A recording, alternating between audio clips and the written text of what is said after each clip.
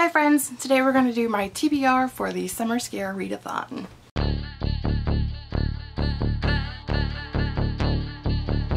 If you missed my announcement video, the Summer Scare Readathon is a readathon that I'm hosting that will be taking place from August 1st through the 9th. It's a Saturday to a Sunday, two full weekends. I am so excited to do some spooky summer reads with you guys. As I said in the announcement video, uh, spooky is kind of a word that you could use for anything really. If it's spooky to you, then it works for me.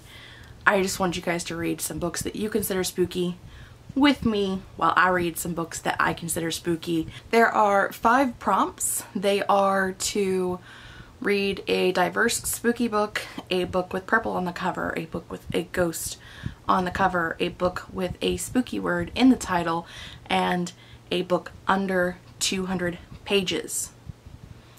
I have a book on my shelves that I did not know I knew I had it, but I didn't know it quite fit the challenges so well that it covers all except for being a diverse read. And that is Saranormal, the first book in the Saranormal series called Ghost Town. It is purple there's like a ghost over here in the shadow. It has the word ghost in the title, meaning spooky word in the title. And it's a short mid-grade that has about 150 pages in it. So this literally hit everything except for being a diverse read. So there's my challenges sorted out. I actually don't think I already own a diverse spooky book. I went through what I have. I know I have some books that I don't know for sure, like if the main character is diverse or not. I did a little bit of research on Goodreads. I don't think so. So I'm going to have to do a little bit of searching at the library um, and do some research to try to find a diverse spooky book. I don't have one currently, so that's open. If you know one that's really good, please recommend it to me down below. Um, I'm, I'm, I'm still looking, so uh, I don't, I own a lot of spooky books, but they're all like mid-grade or um, from the 90s or, so I don't have a lot that really fit that challenge because, you know, we're still struggling getting diverse books published now, let alone in the 90s. So speaking of spooky mid-grade books, I also still have the Creepover series. There are seven of these left that I have not read um, 6 through 9 and 11 through 13 because I read 10 last year for a readathon challenge. So I have those that I'm going to go through as well during the week. I obviously I don't intend to read them all, but you know, as many as I can. Because I typically also listen to audiobooks, I have the first five volumes of the Sweep series by Cate Tiernan on audio. Um, actually the first, well, I've already read the first one, so the next four. So I have The Coven, Blood Witch, Dark Magick, Awakening, and Spellbound are in this bind up. So I have four audiobooks that I can listen to.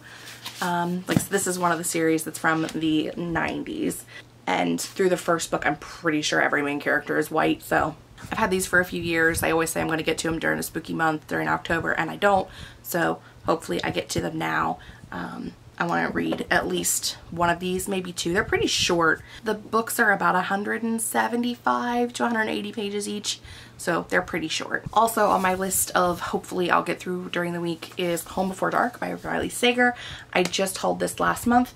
Uh, it's a ghost house haunting kind of book. I don't know if it's going to end up having like a paranormal or a psychological thriller aspect to it, but it's a spooky house book. So I want to try to read this as well. I realize this week is going to be very uh, mood ready for me. It's just going to depend on what I want to pick up at the time. And that's why I picked so many books to kind of go through. These are all just options that I have. So here is this beautiful collection. So I definitely will be reading Saranormal because like I said, that hits four challenges. So I'm going to read that one first. I may read it on the first, very first at midnight. I don't know for sure, but I definitely want to read that one first um, and then just go through the others as I have time.